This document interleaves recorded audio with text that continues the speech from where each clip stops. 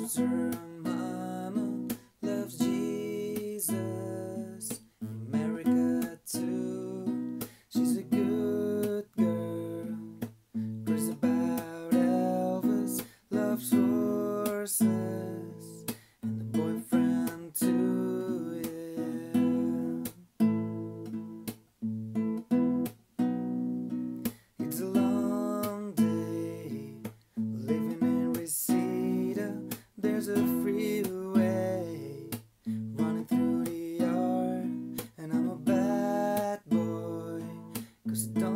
even misery.